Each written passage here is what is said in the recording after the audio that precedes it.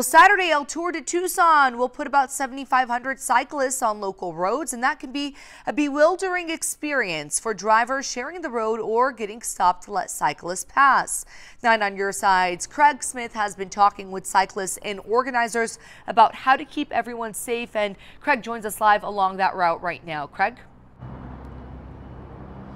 Right now, we're at Wilmot and Golf Links. This is one of the places where the cyclists will roll through and where drivers may have to temporarily stop rolling to accommodate them. It could be dangerous if someone gets impatient or confused, so we gathered some advice on how to stay safe. El Tour is a once a year event that gives cyclists the run of the road in some spots as cyclists roll through routes that vary from 32 to 102 miles. Sharon Murdoch is in from California for the ride. Does she worry about conflict with cars? Yes, but I'm I am relying on the organization to keep us safe, and usually they have, um, you know, the intersections are pretty much protected.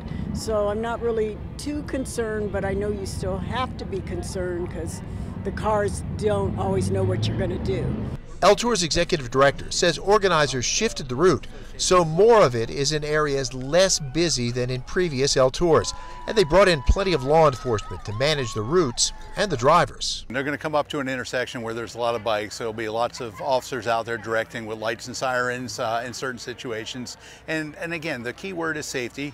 Um, they just want to, you know, stop them, when it's safe to proceed, they're going to direct those cars through. And so that's pretty much all on the south side of town and lower traffic roads than typically that we've been in the past. Tucson Police Chief Chad Kasmar says he'll be riding in one of the events. He has some advice for drivers who may not be used to an officer directing traffic by hand you're probably not going to be the first car in line. But if you are, look to make eye contact with the public safety official that's directing traffic and only go when they tell you to go. They're going to be very clear. They're going to tell you where to go, which direction. That's not the time to debate which direction you'd like to go. We're going to put you the safest route possible.